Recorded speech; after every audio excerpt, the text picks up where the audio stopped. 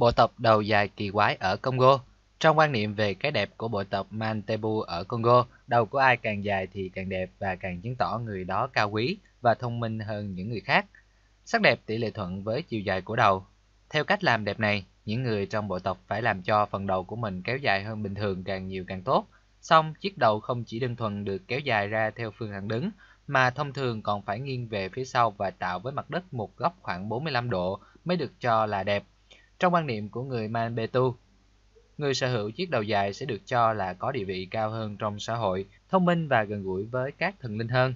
Họ cũng tin rằng việc kéo dài đầu sẽ khiến các vị thần linh hài lòng và nhờ vào đó sẽ phù hộ và mang đến những điều kiện tốt cho bộ tộc.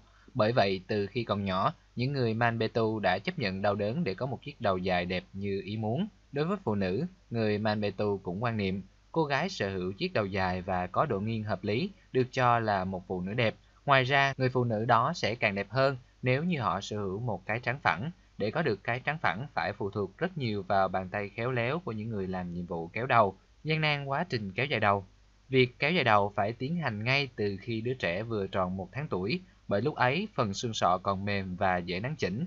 Những bà mẹ sẽ đảm đương công việc đòi hỏi sự khéo léo và cẩn thận này. Họ dùng vải mềm quấn chặt nhiều vòng từ trán đến phần đỉnh đầu của em bé. Đôi khi họ có thể thay thế vải bằng một loại sợi được tước từ thân một loại cây bản địa. Việc quấn vải chặt từ phần trán là bí quyết giúp các bé gái khi lớn lên có trán phẳng đẹp như mong muốn.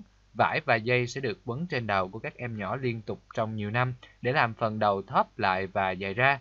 Thông thường, những chiếc đầu có thể dài ra gấp rưỡi hoặc gấp đôi so với kích thước của nó trước khi kéo dài. Phần đỉnh đầu sẽ được quấn chặt tay hơn để đảm bảo rằng chiếc đầu thu nhỏ dần về phía cuối. Nếu phần đầu được kéo dài ra chưa đủ độ nghiêng, những bà mẹ sẽ dùng thêm dây vải để buộc chéo từ đỉnh đầu ra trước trán nhằm giữ cho phần xương sọ luôn được kéo nghiêng về phía sau gáy. Khi phần xương sọ đã dài ra và cứng lại thành hình dạng cố định, dây quấn trên đầu sẽ được gỡ bỏ. Những bé trai có thể vui vẻ tận hưởng cuộc sống với chiếc đầu dài như bố và ông của mình, còn những bé gái sẽ thực hiện những bước tiếp theo để tô điểm cho chiếc đầu thêm phần xinh đẹp.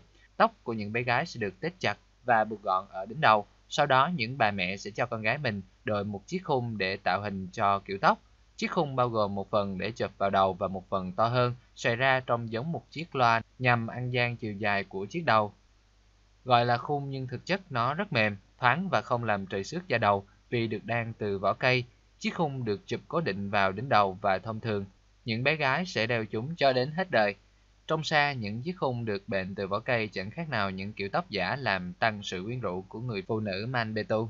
Theo những bậc lão niên trong bộ tộc, phong tục khác người này đã có từ khá lâu và do một số người phụ nữ thuộc tầng lớp quý tộc trong xã hội người Manbetu nghĩ ra, những người phụ nữ này đã thực hiện với những đứa con của mình và sau đó nó được nhân rộng ra khắp bộ lạc và được những đời sau duy trì. Một điều khá thú vị là quan niệm về cái đẹp của bộ tộc Manbetu lại có rất nhiều nét tương đồng với một số bộ lạc khác trên thế giới khi tiêu chí đánh giá cái đẹp dựa vào độ dài. Mặc dù chiếc đầu là biểu tượng cho cái đẹp, song nó cũng mang lại không ít phiền hà trong đời sống sinh hoạt hàng ngày của những người dân bộ lạc Manbetu.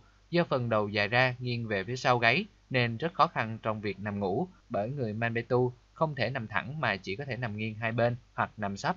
Những chiếc gối cũng phải được thiết kế lớn hơn thông thường để vừa với những chiếc đầu ngoại cỡ. Đồng thời, việc đội những bộ khung dính chặt tóc cũng gây trở ngại và mất thời gian trong việc vệ sinh đầu tóc của phụ nữ trong bộ lạc. Thêm vào đó, vải hoặc sợi dây quấn chặt đầu các em bé từ khi một tháng tuổi cũng cho thấy ít nhiều gây ảnh hưởng đến sức khỏe. Từ nhiều năm nay, những người Manbetu trẻ tuổi không còn mặn mà với tập tục kéo dài đầu nữa bởi cách thức tiến hành cầu kỳ và tốn thời gian. Mặt khác, họ cũng cho rằng chiếc đầu quá khổ là không cần thiết và gây nhiều bất tiện cho cuộc sống hiện đại. Dù vậy, những người Manbetu vẫn kể cho con cháu nghe về những phong tục của ông bà tổ tiên mình. Họ cũng lưu giữ được rất nhiều những bức tượng gỗ tạc hình người phụ nữ Manbetu với chiếc đầu dài và mái tóc được tạo hình cầu kỳ như một biểu tượng đặc trưng cho vẻ đẹp vốn có không thể nhầm lẫn với bất kỳ bộ lạc nào.